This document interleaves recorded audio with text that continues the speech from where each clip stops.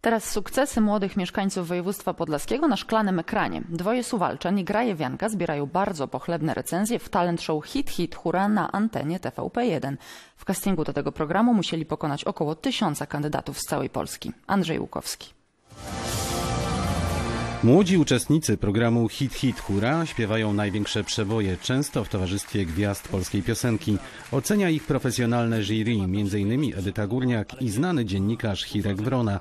Fachowcy chwalą umiejętności dwojga dwunastoletnich wokalistów z Suwałk, Moniki Bogdanowicz i Kuby Walendykiewicza. Dalej, dalej, proszę leć, proszę gnaj. Przygoda Kuby ze śpiewaniem zaczęła się od wycieczek z tatą. Jeździliśmy z tatą na różne wycieczki i e, tata ma e, bardzo dużo piosenek w swoim e, samochodzie i puszczał mi je. No i usłyszał, że mam dobry głos i śpiewam wszystkie piosenki i pamiętam teksty.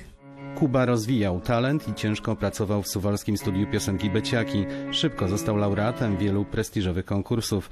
Dzięki temu pokonał też w castingach do programu setki innych wokalistów z całej Polski. Tatę rozpiera duma.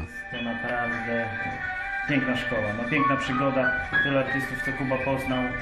Podobnie już w wieku dwóch lat talent suwalczanki Moniki Bogdanowicz odkrył tata. Sławomir Bogdanowicz mówi, że przygoda córki ze śpiewaniem to także liczne wyrzeczenia.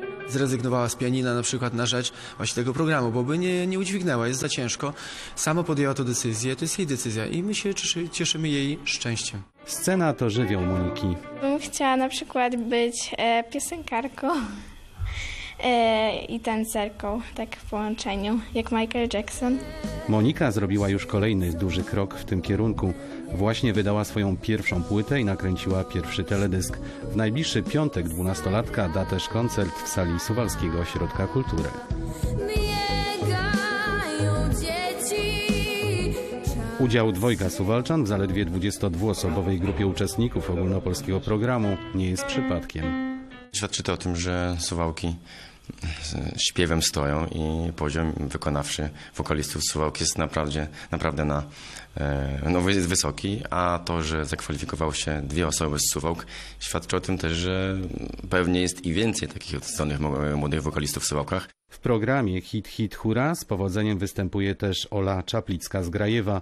Dwunastolatka uczęszcza na zajęcia wokalne do Miejskiego Domu Kultury. Kolejne występy wokalistów z województwa podlaskiego będzie można zobaczyć w środę 8 listopada w programie pierwszym Telewizji Polskiej. Andrzej Łukowski, Obiektyw.